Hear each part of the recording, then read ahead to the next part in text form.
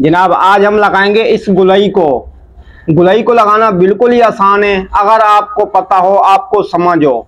बिल्कुल आसानी से मैं आपको समझाऊँगा। इससे आसान तरीका कोई हो ही नहीं सकता गुलई को टाइल लगाने का। सबसे पहले मैं आपको समझा दूँ, गुलई कई किस्म की होती है। समझना है आपको इस चीज़ को। अगर ज़्यादा गुलई क्लोज है तो आपने क्या करना है? फिर उसमें टाइल छोटी लगानी है। अगर इस तरह से बड़ी गुलई है तो उसमें आपने बड़ा साइज़ लगाना है। हमारी जो गुलई है, ये है थोड़ी रोड ज़्यादा इसका। तो इसमें हम लगाएँगे छह इंच की टाइल्स आप समझ रहे हैं ना, छह इंच की टाइल लेकिन टाइल को लगाना है तो बिल्कुल आसान, लेकिन अगर आपको समझ हो तो। लेकिन आपको नहीं है समझ तो घबराने की ज़रूरत नहीं है। मैं आपको बताता हूँ प्रैक्टिकल करके। दोस्तों, मैं अब्दुल कादर, आप देख रहे हैं टेक्निकल टेक्टर अगर मेरे चैनल पे न्यू है तो मेरी वीडियो को लाइक और चैनल को सब्सक्राइब करके दोस्तों के साथ शेयर ज़रूर करें। लेकिन बहुत मेहनत करता हूँ। मेरा सिर्फ़ लाइक वीडियो लाइक करने का तो हक हाँ बनता है ना।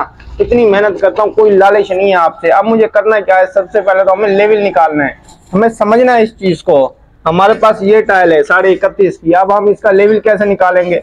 अगर हम इसको ऐसे लगाते हैं तो देखो ये गैप आ रहा है बीच में। ऐसे तो लग नहीं सकती। अगर हम फट्टी बीच में लगाते हैं तो फट्टी भी नहीं लग सकती। तो लेवल हम कैसे करेंगे? समझना है ना इस चीज़ को? लेवल हम कैसे करेंगे? तो लेवल जनाब हम ऐसे करेंगे। पहले तो हमने समझ लेना है इस टाइल को हमने लगानी है खड़ी। क्योंकि ये छह इंच की है तो हमारा रोड बनता हो जाएगा आसानी से। हम क्या करेंगे? यहाँ से रख के निशान लगा देंगे। पहले से मैंने एक निशान लगा दिया है। अपनी मार्जिन देख के देखो, इसके ऊपर भी टाइल लगेगी। इसके ऊपर जो टाइल आएगी ना, वो इसके अंदर आएगी। ऊपर से ऐसे नहीं आएगी, इसके अंदर आएगी। कि बराबर हो। सामने से शो ना हो, आपने समझना है। अब मुझे क्या करना है? ये निशान मैंने लगाया इस निशान को मैं लेवल करके आगे तक ले जाऊँगा। निशान लगा हुआ था, यहाँ से मैंने पट्टी का ऊपर वाला टाप मिला दिया। लेवल रखूँगा इस पट्टी के ऊपर और इस निशान को मैं ले लूँगा आगे। तो इस पट्टी को मैं सौ फ़ीसद लेवल में करूँगा कि मेरी टाइल्स जो लगे है, वो लेवल में जाए। तो इसको मैंने यहाँ निशान लगा दिया। अब मुझे क्या करना है? निशान कैसे लगाना है? इस पट्टी के ऊपर ऐसे रखूँगा, पेंसिल, और इसको ऐसे घुमा दूँगा। पट्टी के ऊपर मिलाते हुए कि मेरा जो निशान है ना, वो ऑटोमेटिक लेवल में आ जाएगा। आप समझ रहे हैं? अच्छा मैं निशान वहाँ से यहाँ तक ले आया था, अब यहाँ से मैं आगे ले जाऊँगा, आगे से फिर मैं आगे पूरा घुमा लूँगा। निशान लगाने के बाद फिर मैं आपको बताता हूँ, क्योंकि जो बेसिक चीज़ है वो तो मैंने आपको समझा दी है ना, आपने यहाँ से टाइल रखनी है, फिर निशान लगाना है। अब आप देखिए, हमारा निशान पूरी गुलई में लग चुका है, जो हमने निशान लगाना था, आप देखें। ये निशान हमारा लगा हुआ है। अब हमने टाइल कैसे लगानी है, वो मैं आपको बताता हूँ। अच्छा अब हमने ये निशान लगा लिया था तो निशान भी हमने सारा घुमा लिया तो अब हमने लगानी है टाइल। टाइल के पीछे हम बॉन्ड लगाएँगे और टाइल को रखेंगे यहाँ, क्योंकि हमने यार तो टाइल है राउंड। इसके नीचे की हमने एक पैकिंग बना लेनी है। पैकिंग हमने बना ली, इसकी पमेश की। ऐसे हमने रोक दी। रखने के बाद ना हम इसको ठोक लेंगे। थिकनेस इसकी बराबर देख लेंगे कि दूसरा पीस जो हम लगाए उसमें फ़र्क ना आए और हमारा जो राउंड है, वो बिल्कुल सही बराबर चलता जाए। अच्छा इस टाइल को लगाने के बाद हम इसका सोल भी चेक करेंगे। फट्टी को लेंगे, इसके साथ रखेंगे और सोल इसका चेक कर लेंगे कि क्या ये हमारी जो टाइल है, वो सीधी भी जा रही है कि नहीं जा रही है। अगर ये हमारी टाइल सोल में आ रही है तो फिर हमें लेवल की भी ज़रूरत नहीं है। ऑटोमेटिक ये लेवल में चलती जाएगी। अगर सोल सही है, तब भी सही जाएगी। लेवल सही है सब भी सही जाएगी। आप समझ रहे हो क्योंकि इसकी चौड़ाई है कम तो हम इसको सोल भी चेक करते हुए जाएँगे। गुलाई ज़्यादा हो सकता है हमारे निशान में उन्नीस बीस का फ़र्क आ गया हो। अब मैंने दूसरे पीस के ऊपर बोर्ड लगा लिया, इसका फिक्रा भी चेक करूँगा, इसके साथ रखूँगा और इसके नीचे पैकिंग लगा लूँगा। तो पैकिंग इसकी मैंने पहले से बना रखी है, इसके नीचे ऐसे टैल को लगाता जाऊँगा और रुकती चली जाएगी। अब इसको मैं सही से ठोक लूँगा टाप इसका ऊपर से बराबर करूँगा। ये जगह भी बराबर करूँगा, ऊपर से टाप भी इसका सही करूँगा, इसका सोल भी चेक करूँगा। हाँ तो जनाब, ये दो पीस लगा लिए, इसके साथ हमें लगाना तीसरा पीस तो तीसरा पीस भी उसी प्रोसेस पे रखेंगे। आपने सिर्फ़ देखते रहना है, मैं आपको समझाता रहता हूँ। आपने सिर्फ़ इस वीडियो को गौर से देख लिया ना तो आप आराम से गुलई में टाइल लगाना सीख सकते हैं। अगर से आपकी ज़्यादा बड़ी गुलई है ना तो फिर आप दो इंच की भी टाइल लगा सकते हैं। तीन इंच की भी लगती है। गुलई के ऊपर डिपेंड करता है।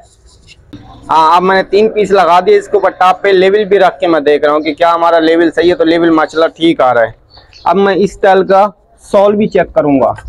लेवल चेक कर लिया था, अब मैं सोल चेक करूँगा कि हो सकता है कि मेरी टाइल का सोल खराब होता हुआ जा रहा हो, लेकिन माशाल्लाह हमारा सोल भी बिल्कुल सही है।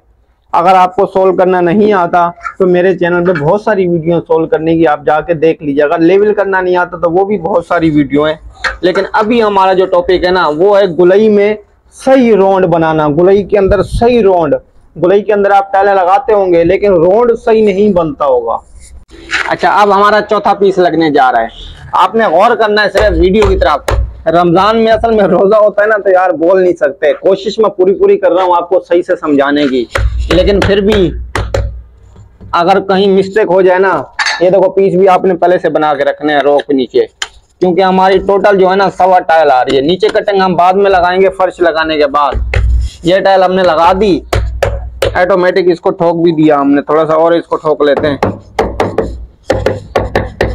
उसी तरह हम ऊपर से लेवल चेक करेंगे साइड से सोल चेक करेंगे। सोल आपने दो से तीन पीस के बाद करना है, कोई मसला नहीं है। हर टाइल पे नहीं आपने सोल चेक करते रहना।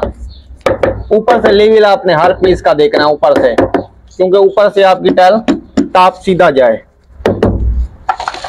लेवल मेरे पास पड़ा है, लेवल मैंने रख लिया तो माशाल्लाह ये सीधा ही चल रहा है। अच्छा आप देखें, हम यहाँ तक आ गए, माशाल्लाह।